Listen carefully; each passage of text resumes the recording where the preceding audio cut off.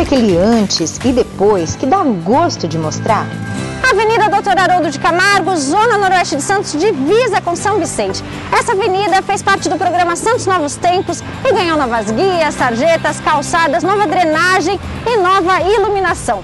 Melhorias que, é claro, deixaram os moradores daqui felizes. Alguns deles até se motivaram e levaram a reforma para dentro de casa. Há 33 anos que eu resido aqui no Jardim Castelo. Antes, Haroldo de Camargo era um caos.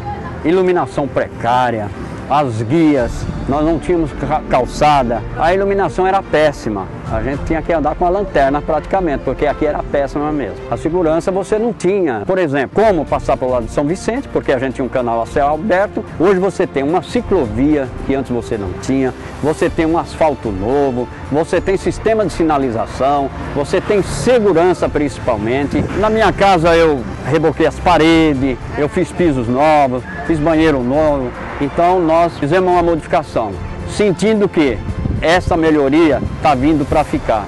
Nós, assim, como moradores, também ajeitamos nossa casa, né? Todo mundo deu uma repaginada, pintura, elevou a autoestima, aumentei minha horta, que eu tenho uma horta atrás, com árvores frutíferas, com ah, temperos, né? Que eu gosto também de, de, plantas. Eu acabei dando um ar de paisagista lá. Nós fizemos sim uma piscina lá no fundo, que aliás os netos adoraram, né?